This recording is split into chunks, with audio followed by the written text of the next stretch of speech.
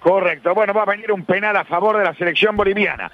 A todo esto, estamos llegando a los nueve minutos de juego de la primera parte. Y el encargado a rematar el penal es Erwin Saavedra. Quiero ver cómo le pega a López Tuana. Para pegar mejor, pegar con Fanatite, en cualquier superficie. Y lo va a conversar de cerca el goalkeeper paraguayo Anthony Silva. Allí está para ejecutar Erwin Saavedra. Gol temprano, tiene la posibilidad de anotar la selección de Bolivia. Hay penal, nueve minutos, están 0 a 0. Va a venir el penal a favor de la selección boliviana, citando el Estadio Centenario contra el arco que viene a ser el de la tribuna Colombes. Allí corta carrera de Erwin Saavedra, que da unos pasitos más hacia atrás. Se adelanta, entra, tira. ¡Gol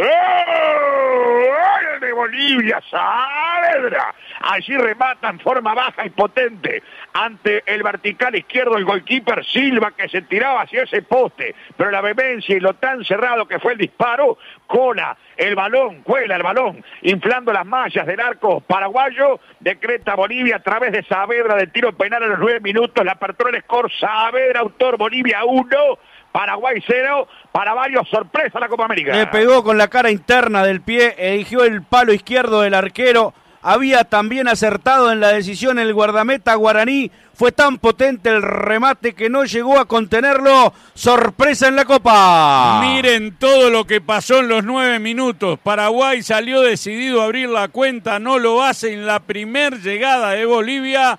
El penal con el VAR y el gol del altiplano.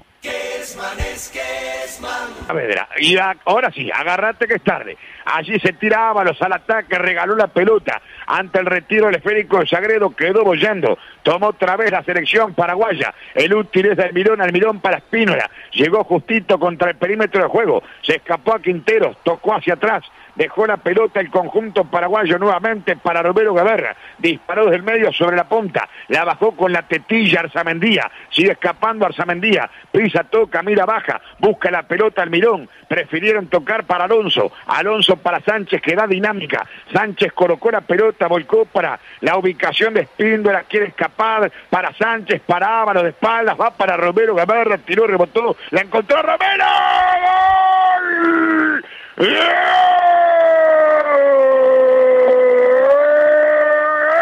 ¡Gol Romero Gamarra. El disparo, la pelota que no tenía que entrar entró. La encontraba bollando Romero Gamarra y tiró un zapatazo tremendo, ubicando la pelota contra el poste derecho del arquero Cordano, que tampoco es invencible. Tapó todo lo que pudo, pero con esta no logró tapar y allí empate la selección del Paraguay. Alejandro Romero Gamarra me encontró una pelota, remató de izquierda y la clavó contra el parante derecho el arquero Cordano decretando Paraguay el merecido. Tanto el empate Paraguay-Bolivia empatan uno a uno.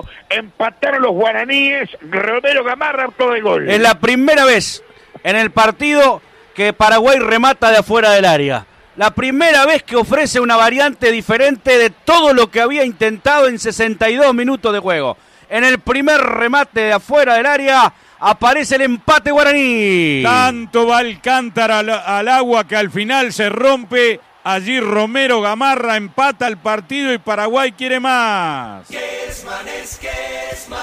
Ah, yo creo que sí. La pelota la está buscando. Allí Paraguay por Almirón. Cruzamiento de balón sobre la punta derecha. Corre desesperadamente el conjunto paraguayo. Viene un centro contra el área. Saltó Sánchez. Cabezazo. Viene. Romero. Gol de Paraguay Romero. Bueno, toda la jugada de golpe de cabeza de Carlos González. Subo. Eh, allí el piloto Ángel Romero subió y lo único que tuvo que hacer fue empujarla porque el trabajo sucio lo hizo el calvo delantero Carlos González, la empujó Romero y decreta el anunciado segundo tanto paraguayo los 20 minutos Romero, autor del gol y ahora sí, justicia total con el partido, está ganando Paraguay por 2 a 1 ante Bolivia, el primero de los paraguayos fue de Romero Gamarra y el segundo de Ángel Romero, Paraguay 2, Bolivia 1. Lo definió la familia, los Romero del gol le cambiaron la historia van a, van a soñar con Romero los bolivianos porque lo dieron vuelta, está bien. Está justo el resultado. Dijeron los hermanos, vamos a mandarla a guardar porque si no, no ganamos el partido. Apareció el otro Romero para marcar el segundo. Qué buena jugada armó ese muchacho. Vos también podés armar la tuya en Supermatch, el lado fácil del deporte. Al ataque la selección del Paraguay, balón de Ábalos, ahora sí, tiene el tercero. Romero. ¡Gol! ¡Gol de Paraguay Romero! Ángel Romero, segundo en su cosecha, tercero paraguayo y liquiliqui el partido. Va a ganar Paraguay estos primeros tres puntos que disputan esta Copa América. Fue una pelota entregada por Ábalos que hizo el trabajo sucio. Va volcando allí Ábalos. Sobre la punta lo vio mejor perfilado Ángel Romero, le dio tomá. Y allí remata el primer poste al punto donde allí encuentra la selección del Paraguay. El tercer tanto a los 35 minutos, segundo en la cosecha de Ángel Romero, tercero de Paraguay, Paraguay 3, Bolivia 1. Dale que es tarde, Paraguay gana sus primeros tres puntos en la Copa. Bien Bolivia, bien, bien ahí Ábalos, el pase que le mete a Romero para romper la línea de Bolivia.